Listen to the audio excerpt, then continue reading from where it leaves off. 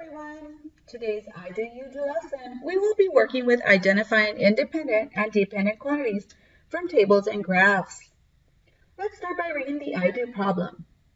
On Thanksgiving Day, a company will transport turkeys from Iowa to California.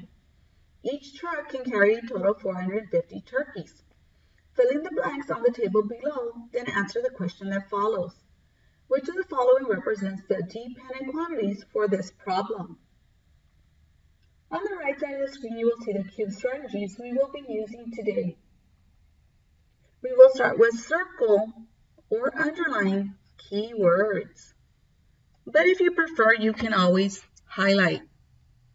Each truck can carry a total of 450 turkeys, represents the dependent quantities. Then we box our question.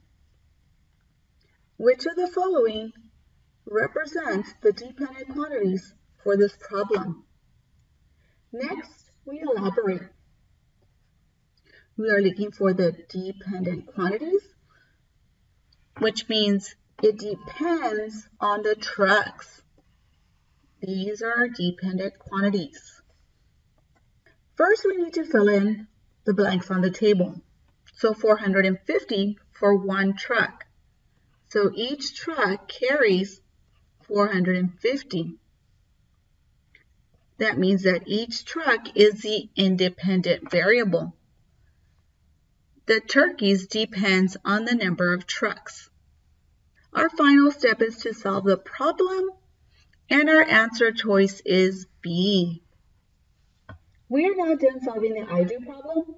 At this time you can move on to the you do problem and use the cube strategies to solve.